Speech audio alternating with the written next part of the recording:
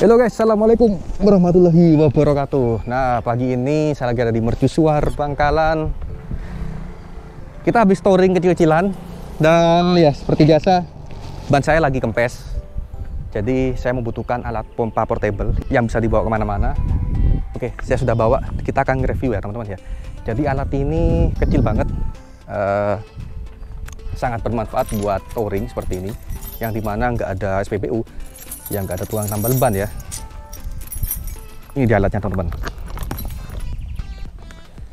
Nah ini ini ini bukan unboxing ya karena sudah saya pakai teman-teman. Ini dia namanya Xiaomi pompa ya pum ya Xiaomi pum ya. Bukan asi pum loh asi pum itu pompa asi teman-teman. Ini untuk pompa ban. Nah perlu kalian ketahui sebelumnya kalian harus tahu tekanan ban kalian itu berapa bar atau PSI depan belakang jadi pertama saya akan ngompa ban depannya ya. Oke kita akan coba ngompa dulu teman-teman. Oke ini ban depan saya udah kempes banget. Ini bukan dikempesin, memang udah kempes banget ini. Saya buka jaket dulu ya.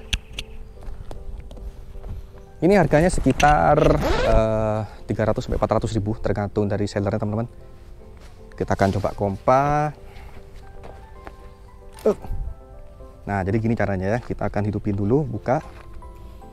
Nah ini kalau buka gini otomatis dia sebagai saklar teman-teman. Ini karena saya untuk motor saya ubah ke motor. Nah ini untuk motor ban saya itu sekitar bentar saya sudah catat tekanan ban depan saya itu. Untuk ban depan saya itu sekitar tekanannya. Nah untuk motor saya ban depannya itu sekitar 38 psi atau 2,6 bar. Jadi saya setting 2,6 bar untuk ban belakangnya 3,1. Oke langsung aja kita pompa bannya teman-teman. Seperti biasa mudah saja. Nah, tinggal di gini ya.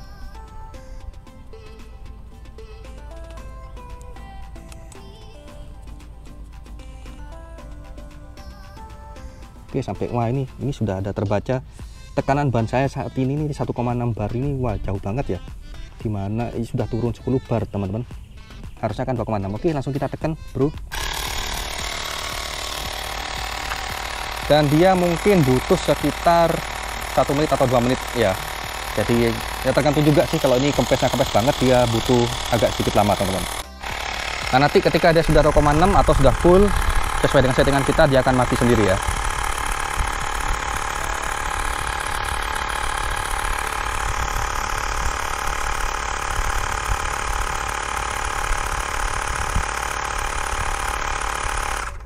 Nah, dia sudah mati dan sekarang kita pindah ke ban belakang yang tekanannya lebih besar yaitu sekitar 3,1 bar teman-teman. Kita buka dulu. Nah di sini memang sedikit agak, agak panas ya. Ini memang selangnya yang panas bukan mesinnya entah kenapa kok bisa selangnya kok bisa panas ya. Nah ini udah udah udah dan normal ini.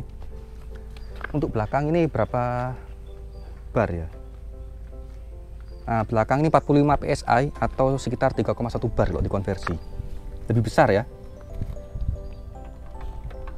Nah, ini kotor banget motor ya. Gak sempet cuci, Bro.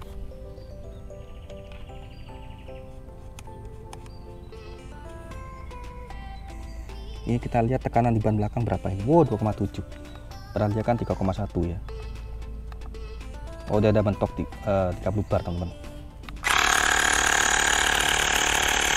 Oke.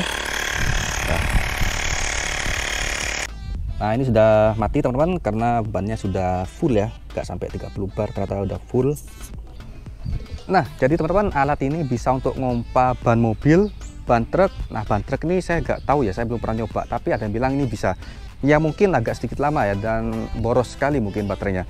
Uh, untuk alat ini saya akan review lebih lengkap lagi dan uh, fitur-fiturnya di channel saya satunya channel Jackson teman-teman.